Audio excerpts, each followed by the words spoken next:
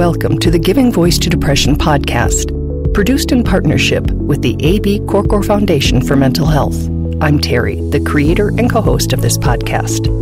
I've lived with depression most of my life, and I know how easy it can be to feel all alone in the experience. I'm not alone, and you aren't either. And I'm Dr. Anita Sanz, a licensed clinical psychologist with a number of my own diagnoses, all of which bring a certain amount of anxiety and depression along with them. There is great power in shared experiences. We share our own as we engage in intimate and candid conversations with our weekly guests, exploring different perspectives on and experiences with depression. We keep it real because depression is real. We keep it hopeful because there truly is hope in spite of what depression tells you. Hello, Anita. Hi, Terry. You know, some of our episodes are carefully planned, researched, and produced, but others come together more organically. And this is one such episode. It started out as a story of how, when a podcast listener, an active member of the Giving Voice to Depression Facebook community page, let us know that she was struggling, we made a post asking the community for support. And what transpired was beautiful. But Terry, I have to stop here and say something. Yeah. This wasn't wasn't planned, but I just want to say thank you for this beautiful labor of love that you have created and worked on for 6 years just to ensure that no one who is sitting in the darkness of depression doesn't have some light. And I feel like this episode is is just such a an amazing sort of reflection of the work that you've been doing and I just wanted to say thank you. Well, thank you. Now, how am I supposed to read when I got tears in my eyes? I'm so sorry. okay. but in transcribing the comments that other community members posted for her, I realized that I was feeling better just reading them. That the goodness, the understanding, and the support was reaching me in a deep place. So Anita and I talked and decided that we would do a full episode reading these comments for you in the hopes that you'll feel better too. And also to demystify what support, what real support looks and sounds like. And emphasizing the point that there is no one right thing to say. And there really aren't wrong things to say if you are coming from a non judgmental place of caring. So before we hear from Rosaleen next week and we learn how these comments impacted her on that dark night, we're going to just slowly read through and discuss them.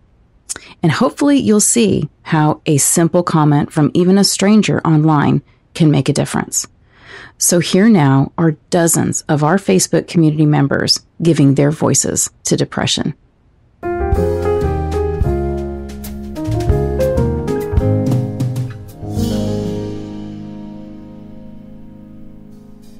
The initial call to action for our online community, which, by the way, we invite you to join. It's on Facebook. Just search for Giving Voice to Depression. It was a post with this note. I wrote, calling community members. Please leave a kind message for Rosaleen. We have all been in that dark place, and knowing that others understand and care can make a difference. Thank you. When I'd asked Rosaleen for permission to reach out on her behalf, she said she wasn't really in a place to respond to our posts, but that she would be reading them, which we learned she did that night as they poured in. Here are some of the posts that she read. We are going to delete her name from them for this episode just to make it easier for you to receive them as encouragement for you. Debbie wrote, Take it one minute at a time. Watch TV, a movie, bake something. I've been there. Push yourself, even though you don't feel like doing so. Lori wrote, I hope that things will feel a little lighter minute by minute. I hope you can see a picture that is beautiful to you. I hope that you can smell a candle or incense that makes you calm. I hope you can hear music that will transport you to a happy time. I hope that you can see the light that you are to others. We all need each mm. other. We are all a part. I've got you, you've got me, we're not alone. And Deborah wrote, We are with you. Keep giving it 10 minutes, 15 minutes, half an hour at a time. Watch movies that bring you happiness, listen to good music from your teen years, but most of all, please stay here. Our world needs you. Wow. I remember one of my very first interviews for this podcast. The man said that in his worst of times, he would play board games. And I remember thinking, board games? Like, that's how could that be an effective tool in mental health management mm-hmm. and in suicide prevention, which is what he was discussing. And it's that distraction. Mm-hmm. You know, I, the power of distraction I have come to really understand. And for me, it's fun, little short, little funny videos because I don't really have the attention for a full movie when I'm in it. But it's fascinating, and to to to have that. Um, well, if you're already doing it, to have that reinforcement that, that that's a good strategy if it works for you. And if you're not doing it, to sort of have that suggestion is, is really important. Yeah, I know distraction gets a gets kind of a bum rap um, sometimes. You know that people say you're not really dealing with what you need to, but mm-hmm. but when you've got that black darkness of depression, focusing on the darkness is the worst thing you can do. So in that case, I don't care what the distraction is as long as it doesn't further increase the darkness. If it allows you just to turn away and see something that's got a little bit of light, a little bit of color. Um, that's so important to do, and it doesn't mean that you're not dealing with reality. That right. you are you are coping very well with a very tough reality. Yeah, you're trying to just get through it. Yeah.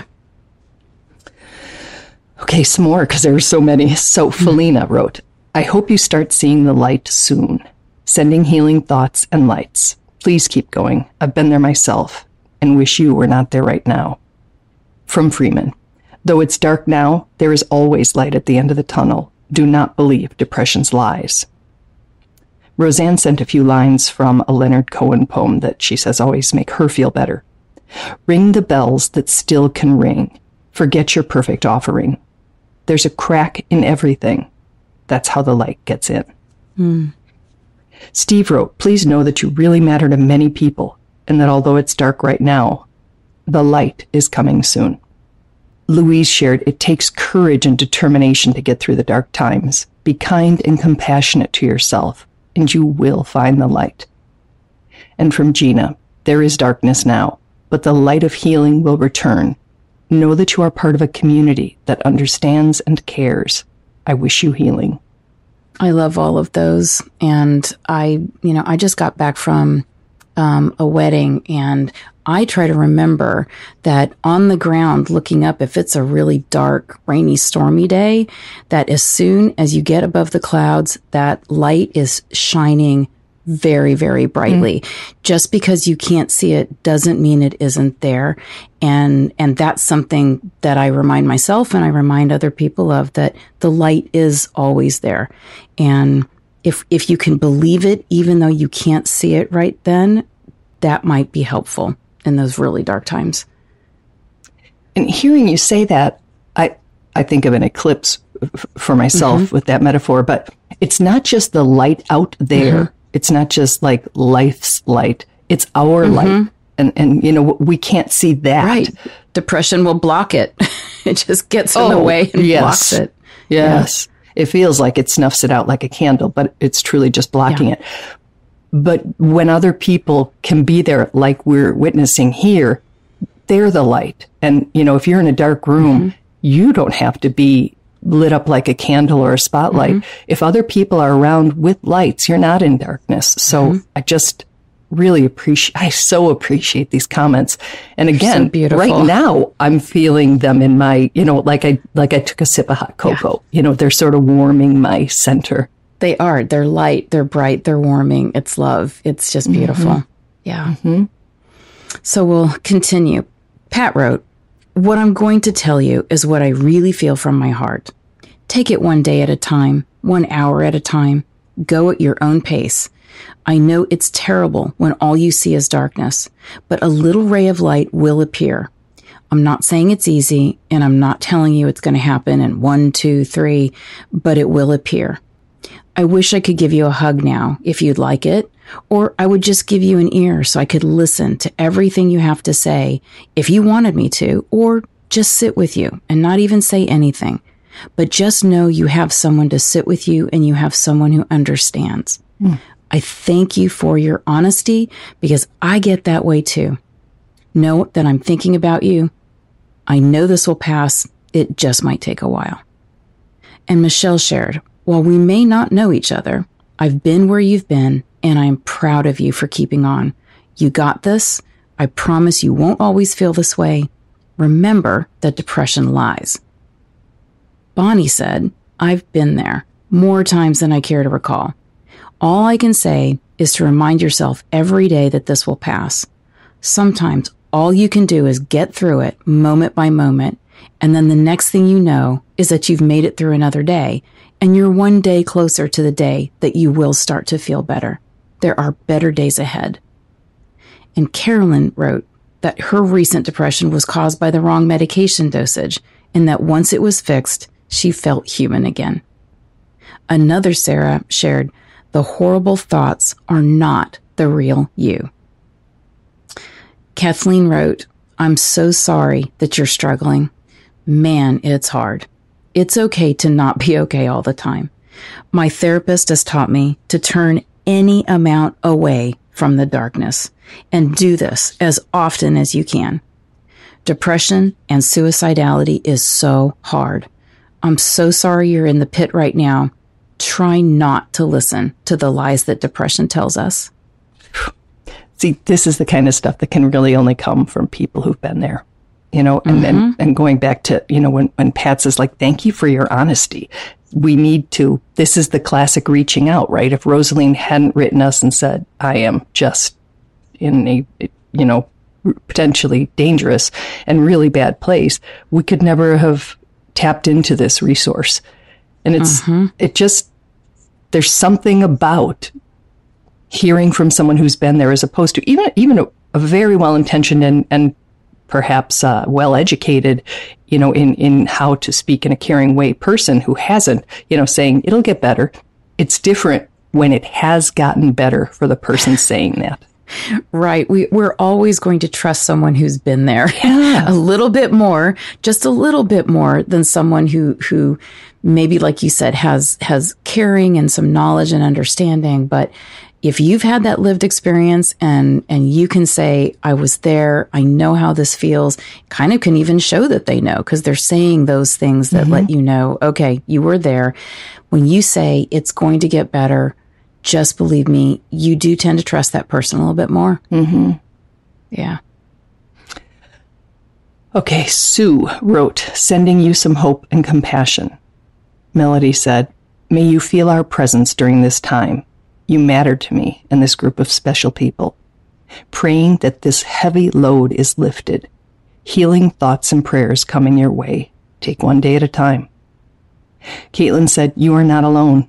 There is still good and beauty in the world, even though you can't see it right now. Turn towards it, look for it, and you'll find it again. You will get through this. Kiss, kiss, and a heart. Charlie wrote, You're not alone, with a big heart emoji. Stacy said, You matter and you're not alone, even if it feels like it. Hold on to hope. We understand how you feel. It can get better. She explained then that she had been misdiagnosed and had struggled desperately. She said that she now has the right meds and therapy and is feeling better. And then she wrote, I am so sorry you are struggling. Just remember, depression lies. Another Lori wrote, one day at a time, one step at a time, one hour at a time, but keep moving. You are enough just as you are. You are beautiful and you are loved. You are, and a heart. Marcus said, Know that there are others who have been where you are. You are not alone, even if it feels that way. Patricia said, I hope you know that you're not alone, that there are people out there that care and wish to give you strength and support to get through this. And a prayer emoji. Valerie echoed that, saying you're not alone, even though you may think that. It's just a thought, and no rain and darkness lasts forever. One minute, one day at a time. And Danielle, you are a stranger, but you are not abnormal in your fight. We are all here for you and can relate. Keep searching for the light. I hope you find beauty in your days ahead. All of these comments are so beautiful and so empathic. And it just really strikes me the things that you're not hearing. Mm. Um, you're not hearing just cheer up. Yeah. just look at the bright side. Think of all you have to be grateful for or happy about. You need to stop feeling sorry for yourself mm. or just snap out of it. Um, these are the comments from people who, who really get it, you know, who are not giving you the, you know, the IT equivalent of, well, have you tried turning it off and back on again?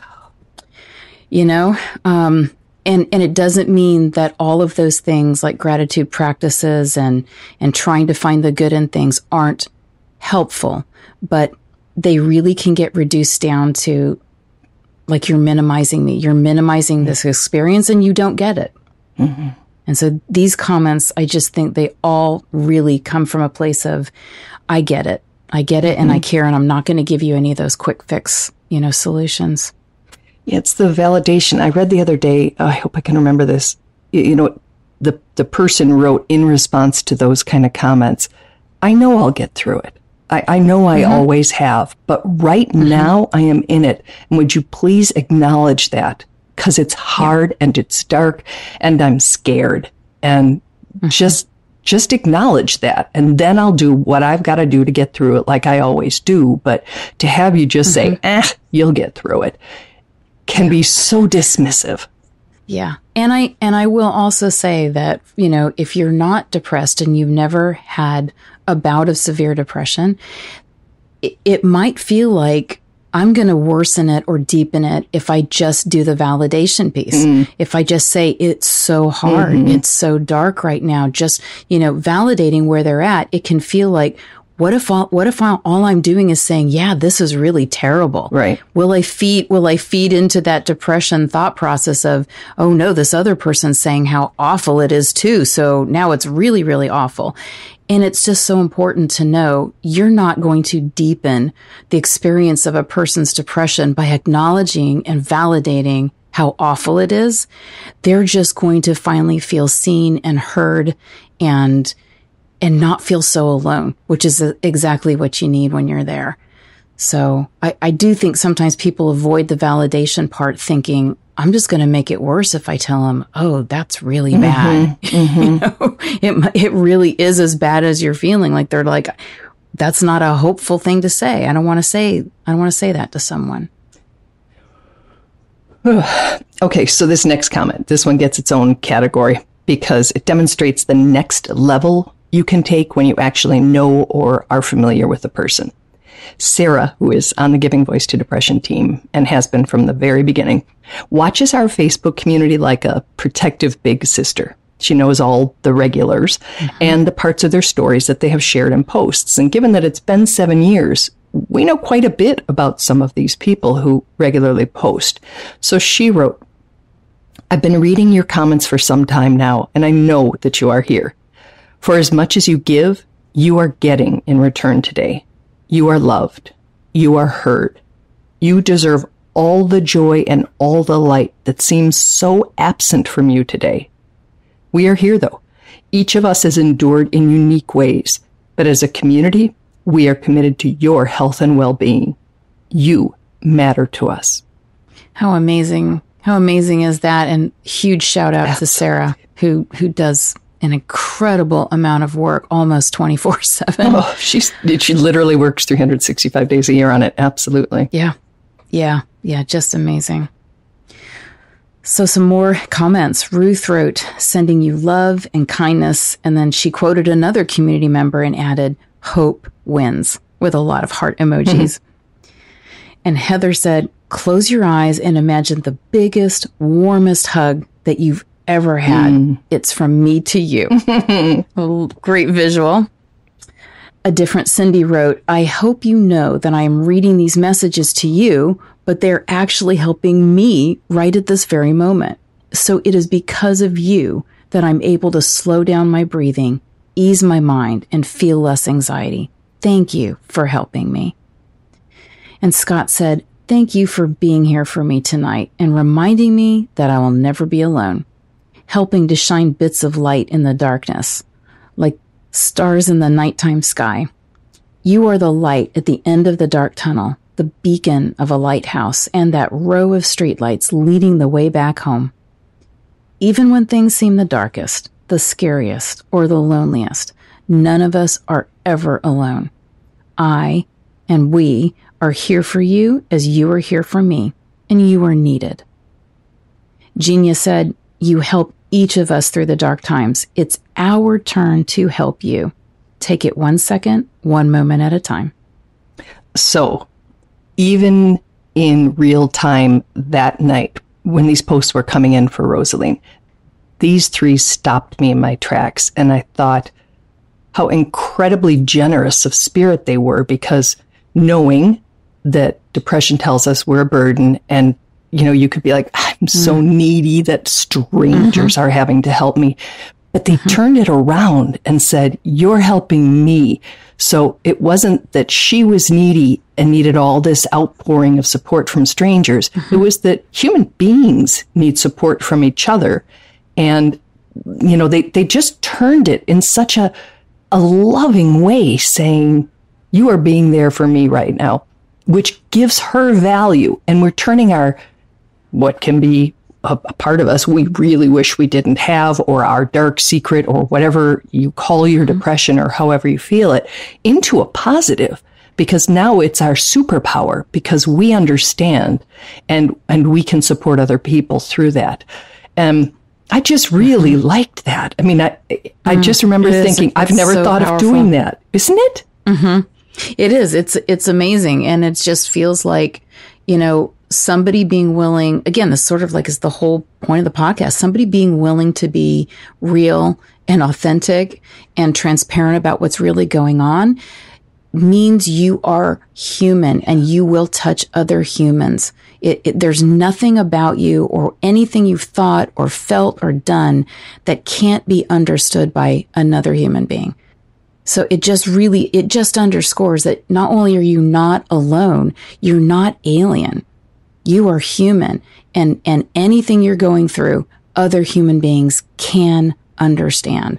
And really, it's, it's our responsibility, even if we've never thought something or felt something or done something to try to be there as one human to another to make sure that they feel heard and understood. Yes. There were more Cheryl wrote, It does get hard, but it will get better. Know we are sending you love, light, and lots of positive energy to shine a light for you. We value you, not because of, just as a fellow spirit. It is hard. Mm. Everything is going to be okay, even when it doesn't feel like it. It will be. It will. Tie a knot at the end of that rope and hold on. Melody said, God is on your side and so are we love for you coming from everywhere. Barbara said, We're sending out good vibes. Please keep strong, knowing we have your back. Chris said, We are holding you. Hold on to us. Thayer wrote, sending you prayers wrapped in a warm hug. Mm. Rebecca said, I don't know you or your story, but my prayers are with you. Cheryl simply said, You matter. Brenda said, sending positive thoughts your way. And we want to end with Tara's comment. She wrote, I want you to know that even though we haven't met, I care about you. I know what it feels like to be drowning in very intense darkness. It's scary. You are not alone. We are here for you and we get it. It's a lot to feel so intensely. You're doing the very best you can, and that's all you can do, and that's okay. You are not a burden. You are not wasted space. You have value and worth. I'd like for you to borrow strength from us until you have your own back. You are loved and cared for. We've got you. that's just a, that's just so to me the we've mm-hmm. got you. It's just just really it sums this up. Look at what this community did. You know, not only did they have Rosaleen, they had each other. Rosaleen's doing this had them. It was, it was just a coming together in true community to provide real support. And I'm just, I'm so amazed by it. And it's not the only time we've done this. Mm-mm. We don't do it often because I think it would dilute the impact, and and I, I fear that maybe people wouldn't uh, participate as often. But when we do, and we have, I don't know, maybe a dozen times over the seven years, it's always mm-hmm. been like this. And I know, like Sarah, not as much as Sarah, but I know some of these people. I, I have mm-hmm. also interacted with them. Some are previous podcast guests. Some I just mm-hmm. know from the Facebook community. I know that some are parents who have lost their children by suicide recently. I know mm-hmm. that, oh, I get, I know that one of the women who wrote not only has treatment resistant depression, but was recently diagnosed with stage four cancer. I mean, these are not people who are sitting there in whatever, you know, utopia people who are always happy are in. And I don't, I don't mean to presume that there's such a thing, but these are people who are in it too, in mm-hmm. it. And they're, you know, it's like they're going back into the fire with a bucket mm-hmm. to help somebody else. Right. And that's the part that, like, well, obviously, if you saw me, um, totally chokes me up because yeah. it's not just like, hey, oh yeah, I was depressed once and I'm all better now, and um, now I can, from this place of betterness, offer you support. It, it, they're right there, sitting in that mud puddle with you. Mm-hmm. Mm-hmm. And and and reaching out with the knowledge that they need to that you know she needed to know that she wasn't alone. I don't know how i don't know how you can do that at times but i think it must also help you feel less alone. Yeah. and that's that's what we're going for. But that is that is an amazing thing. The level of empathy that people who are struggling have for other struggling people is is so great. It's so great sometimes. And we just need we just need to increase that amongst all people you yeah. know, just that ability to, to care and to reach out. And I, and I hope that, that, eh, you know, listening to this, that you get the sense of these are some of the things to say.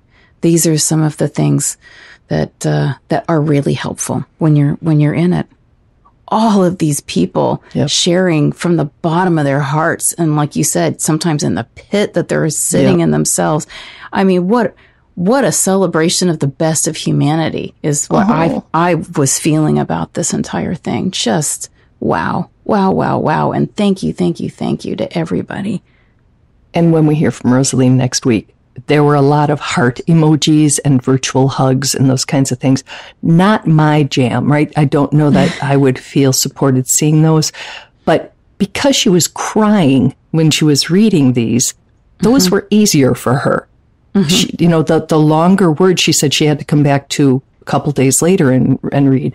But I think one of the bottom line messages I hope of this episode is you don't have to have the perfect thing no. locked and loaded to say to somebody.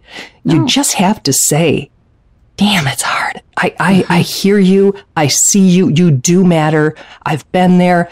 All those things that are real mm-hmm. and just listening. If you don't have that lived experience, then just shut up and listen if they feel like talking, if we feel like talking, mm-hmm. and just be there. Yeah. Yeah. So, I'm, I'm, I'm a little bit on the other side with, you know, from where you're at. I, I'm a sucker for those emojis. I'm a, uh, you know, you can speak to me with a heart emoji. Um, and, and, and I will feel the love that is being sent. Um, and so I don't ever think of that as being a shortcut, you know, for trying to find the perfect words because again, there, there are no perfect words, mm-hmm. but there's, there's, there's perfect caring, there's perfect love, there's, there's perfect, um, wanting you to not feel alone. So yeah, yeah perfect whatever, intention.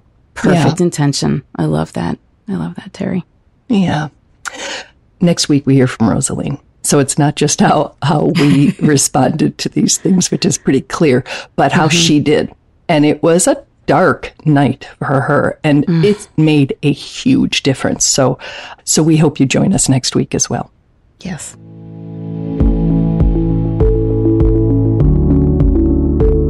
We truly hope that our podcast brings a little more understanding, helps you better articulate and reflect on your own experience with depression or better understand how to support someone else who is struggling.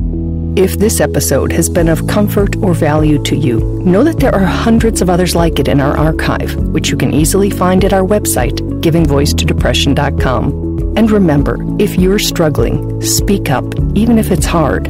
If someone else is struggling, take the time to listen